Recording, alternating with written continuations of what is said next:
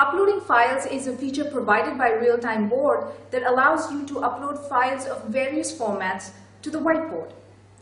This includes images and videos from other web pages that can then be shared with users that have been added to the board.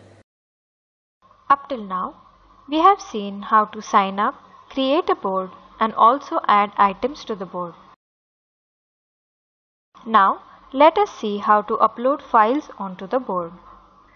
To upload files from your computer, click on the plus sign which is at the bottom of the screen on the menu bar.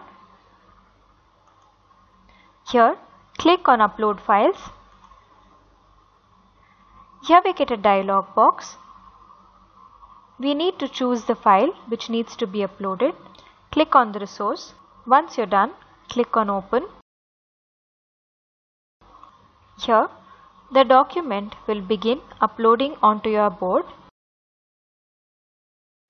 Here we can see that the presentation has been uploaded onto the board. We can upload Word files, PowerPoint presentations and images onto the board. Let us resize this so that we can view it clearly. We can also change the slides here view it clearly, you can adjust the size of your document by dragging its corners.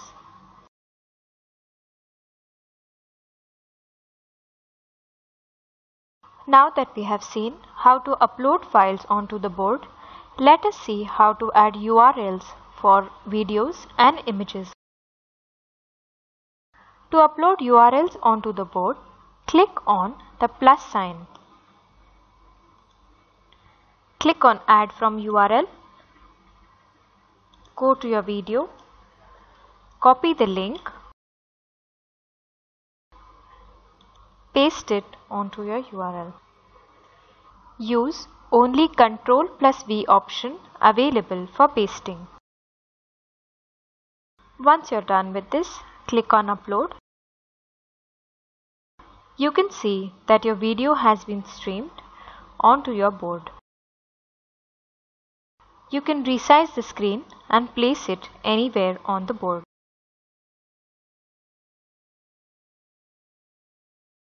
Now let us see how to add screenshots of web pages onto the board. Click on the plus sign. Click on Capture Web Page.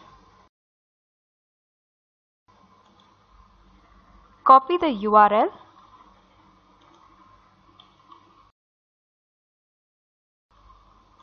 paste it in the box provided.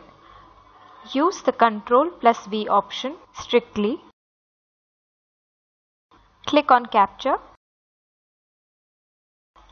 Here you can see that the URL has been captured into a screenshot. You can resize this